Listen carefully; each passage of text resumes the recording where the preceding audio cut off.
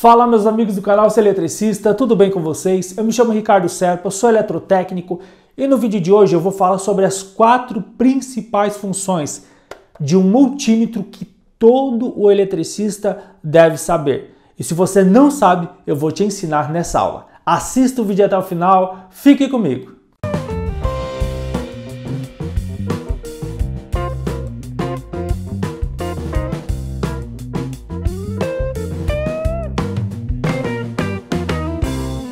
Meus amigos, a gente aqui no canal, nós temos mais de nove modelos diferentes de multímetro. E é claro que cada um deles tem diversas e diversas funções específicas. Você não tem obrigação de dominar todas elas. Eu vou dar um exemplo. Testar tiristor, diodo, circuito integrado, enfim, você não tem essa obrigação porque são componentes da eletrônica, a não ser que você trabalhe com automação.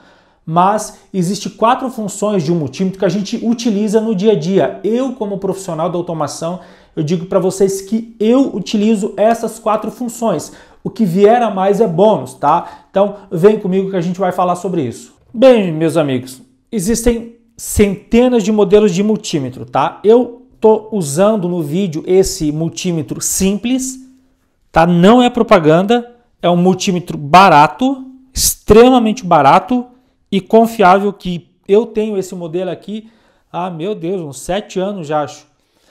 Então, pontas de prova preta e vermelha. Ponta de prova é isso aqui, ó, né? Ponta de prova. A preta vai no comum, COM comum, e a vermelha vai sempre onde você faz as medições, tá? Que é essa aqui. Eu não vou falar sobre isso aqui porque esse aqui faz teste de isolação de condutores, né, com conector banana, mas a gente vai falar sobre essa daqui, ó. Então ela vem aqui. Beleza.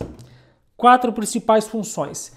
A primeira delas, o primeiro deles é a tensão alternada. Você vai ver que tem um símbolo de til que é o alternado, né? Símbolo de uma onda senoidal. Você vê aqui, ó. Correto? Eu vim aqui na escala de 750 volts alternados. Essa é a que você mais vai usar na sua vida como eletricista para saber se tem tensão chegando ou não. Ali na tomada, eu vou colocar uma ponta de prova num lado e a outra no outro. Não tem polaridade, tá? Então eu vou colocar uma de cada lado e vou verificar no multímetro a minha tensão, que no caso aqui é 220 volts, está ali, ó. Isso é o que vocês vão utilizar mais na vida de vocês como profissional. A segunda delas, gente, é a corrente, tá? Esse multímetro mede corrente alternada, tá aqui, ó, a ampere vou colocar na escala de 200. Por quê? Porque eu sei que eu não tenho a carga de 200 amperes na minha residência. Essa é o que eu vou mais utilizar. Nesse caso, eu não utilizo as pontas de prova, elas podem ficar aqui paradinhas eu não vou utilizar. Eu vou utilizar essa garra e eu vou passar ela pelo condutor de fase. Eu quero medir a corrente de entrada deste inversor de frequência. Eu vou ligar ele, vou separar o cabo de fase, que é esse preto, e vou passar a garra do meu amperímetro pelo cabo de fase e soltar, ó, para que ela fique travada, 100% travada. E vou então medir a corrente, que aqui está mostrando a corrente de 1 ampere, uma corrente extremamente baixa, até porque eu não tenho motor acoplado a ele, não tenho carga. Então essa é a segunda função que vocês mais vão utilizar no multímetro de vocês. A terceira função, tá? Gente, eu estou dizendo as funções que eu acho. De repente você vai dizer, ah, mas eu uso mais. Então, isso é a minha opinião, tá? Então, de repente a ordem pode mudar, independente, mas essas quatro é, funções vocês vão usar muito, tá? É a escala de continuidade, onde eu tenho um sinal sonoro aqui, ó, né? Um símbolozinho, um sinal sonoro ali, ó, um alto-falante, que é justamente onde você encosta as pontas de prova e você tem um som.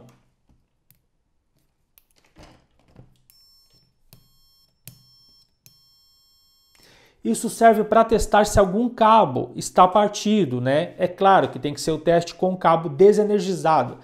Digamos que essa chave eu quero testar se ela está quebrada. Eu vou colocar uma ponta de cada lado. Observe que eu tenho continuidade.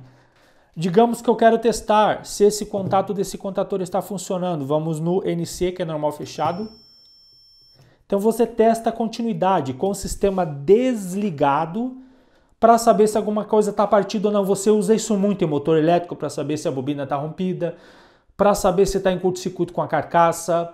Você testa isso em cabos, em componentes, dispositivos, enfim. Esse teste é muito utilizado, dá para testar diodo também, tá? E o quarto teste, que é o teste de tensão contínua, tá? Que é justamente onde tem esse V com esse risco contínuo, porque não muda a polaridade, não existe onda senoidal aqui, tá? Então aqui você usa para testar pilha, bateria, bateria de carro. Nesse caso existe polaridade, tá? Você tem que colocar a ponta vermelha de prova no positivo e a preta no negativo. Nesse caso dessa bateria de 9 volts, o meu negativo é aqui e o meu positivo é aqui. Então vamos ver. Observa que ela está chegando 10 volts, está carregada, né? Vamos fazer o mesmo teste aqui. Ó, essa aqui já está fraca, eu sei que está fraca, é uma bateria recarregável. Se eu mudar a polaridade, ele vai medir, mas vai dar o símbolo de negativo aqui dizendo que está invertido, olha só. Mas mede, né? Mede com uma diferença, mas mede. Então aqui você tem a medição correta. Tá aí, ó. Outras informações, como testar resistência, ter multímetro que tem capacímetro, é, tem multímetro que vai ter, nossa, várias e várias funções, TrueRMS, enfim, isso são bônus, tá? Mas se você é profissional e dominar pelo menos esses quatro é, princípios aqui do, do, do nosso multímetro com alicate amperímetro, você já tem uma excelente base para fazer os testes, tá? Eu digo para vocês com toda a propriedade de causa que quem trabalha na área predial ou residencial, né, ou até mesmo industrial, que trabalha na parte elétrica, corrente alternada, com esses testes aí, é, já se vira extremamente bem. O que vier a mais aí é bônus, tá?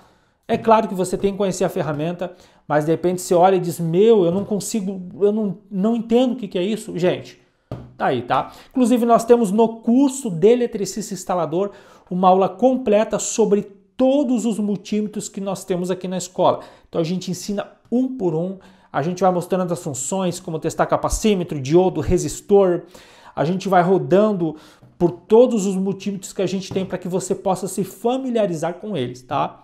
Curso de eletricista com certificado, apostila, grupo do WhatsApp para os alunos, um curso completo online para você aprender sem sair de casa. Todas as informações estou deixando aqui embaixo na descrição do vídeo. Forte abraço, fiquem com Deus.